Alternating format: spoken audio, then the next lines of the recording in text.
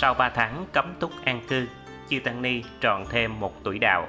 Để đền đáp bốn ân nặng, sáng ngày 11 tháng 8 năm 2024, nhằm ngày mùng 8 tháng 7 năm Giáp Thìn, Ban giám hiệu trường Trung cấp Phật học Tiền Giang, Ban chức sự trường hạ Chùa Phật Ân, số 5, Ngô Quyền, phường 7, thành phố Mỹ Tho, trọng thể tổ chức đại lễ Vu Lan, Tạ Pháp, Dân Ca Sa, Phật lịch 2568.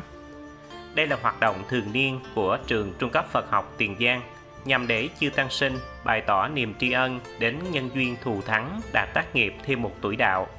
đồng thời tạo duyên lành cho hàng Phật tử hoàn thành sở nguyện trong tháng hội Vu Lan. Quan Lâm chứng minh buổi lễ có trưởng lão Hòa thượng Thích Huệ Minh, thành viên ban thường trực Hội đồng chứng minh, chứng minh ban trị sự Giáo hội Phật giáo Việt Nam tỉnh Tiền Giang. Hòa thượng Thích Huệ Tâm, thành viên Hội đồng chứng minh, chứng minh ban trị sự Giáo hội Phật giáo Việt Nam tỉnh. Hòa thượng Thích Trí Huân, Hòa thượng Thích Thành Trân, đồng chứng minh ban trị sự Giáo hội Phật giáo Việt Nam tỉnh Tiền Giang. Thượng tọa Thích Quảng Lộc, Ủy viên Hội đồng trị sự, trưởng ban trị sự Giáo hội Phật giáo Việt Nam tỉnh Tiền Giang, trưởng ban tổ chức khóa an cư. Hòa thượng Thích Giác Nhân, Ủy viên Hội đồng trị sự, Phó trưởng ban trị sự Giáo hội Phật giáo Việt Nam tỉnh. Chư Tôn Đức, Phó trưởng ban trị sự Giáo hội Phật giáo Việt Nam tỉnh, Thường trực Ban trị sự Giáo hội Phật giáo Việt Nam tỉnh Tiền Giang, chi Tôn Đức Tăng Ni, Thường trực Ban trị sự Giáo hội Phật giáo Việt Nam 11 huyện thị thành trong tỉnh, Ban giám hiệu, Ban giảng huấn, Ban bảo trợ nhà trường, Chư Tăng Ni một số từ viện trong tỉnh cùng đông đảo Phật tử đồng tham dự. Đại lễ được cử hành tại chánh điện chùa Phật Ân lúc 8 giờ 30. Sau nghi thức dân hoa cúng dường của các em thanh thiếu niên Phật tử lên chư tôn đức, trong không khí trầm lắng của ngày đại lễ, đại diện tăng sinh trường trung cấp Phật học tỉnh nhà cung đối trước đạo tràng dâng lời khánh tuế đến chư tôn đức, bày tỏ niềm tri ân sâu sắc trước sự quan tâm của chư tôn đức ban trị sự, ban giám hiệu nhà trường, ban giảng huấn và ban chức sự hạ trường. Thay mặt ban thường trực ban trị sự giáo hội Phật giáo Việt Nam tỉnh Tiền Giang, thượng tọa Thích Quảng Lộc có lời chúc mừng hạ lạp đến ban giám hiệu, ban giảng huấn, đặc biệt là đại đức Thích Huệ Phát, phó trưởng ban trị sự, trưởng ban giáo dục Phật giáo, hiệu trưởng trường trung cấp Phật học đã cùng với ban chức sự hạ trường chùa Phật Ân trực tiếp điều hành hạ trường hoàn thành các chương trình tu học theo đúng với tinh thần của thường trực ban trị sự Phật giáo tỉnh đề ra. Thượng tọa hoan hỷ tán thán tâm thành của chư tăng sinh qua lời chúc mừng khánh tuế, tin tưởng các em sẽ luôn tinh tấn trên con đường học tập, hoàn thiện bản thân để sau này kế thừa vững chắc cho sự nghiệp hoàng dương Phật pháp làm lợi lạc nhân sinh. Dù ánh quang thắng tới vừa rồi, ý tưởng của ai không quan trọng, ngôn ngữ của ai không quan trọng nhưng nơi pháp hội thiên Liên ngày hôm nay, trụ sở của ngành giáo dục tỉnh, trường cao trung Phật học, tăng ni sinh đã đồng tâm phát nguyện qua những lời ngôn từ đầy ý nghĩa và đầy trách nhiệm, đầy sự tỉnh giác của người đệ tử kế thừa. Thay lời cho ban trị sự ban giám hiệu, thầy vui lắm. Lắng nghe từ từ chữ chữ của các con chân lên.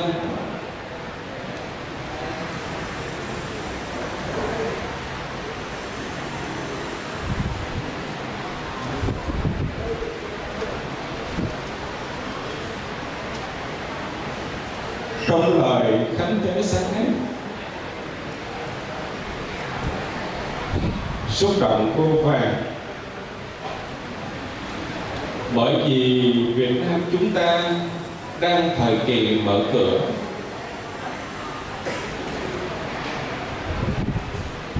Cuộc sống vật chất thịnh hành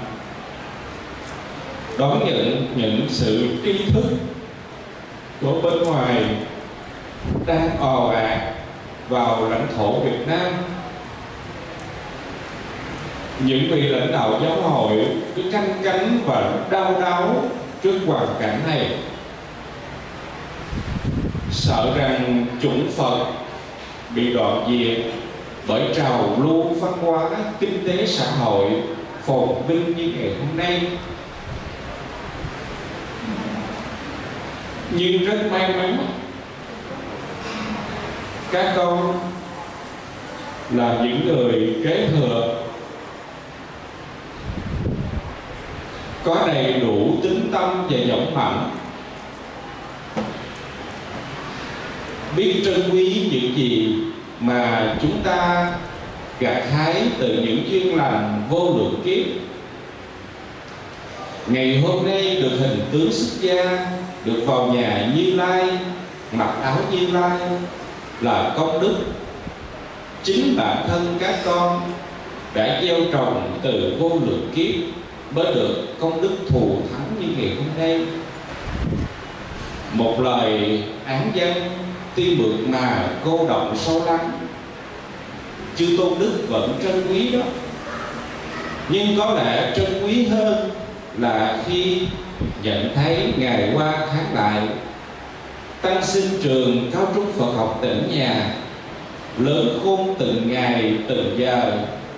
Xứng đáng là người có đạo hạnh,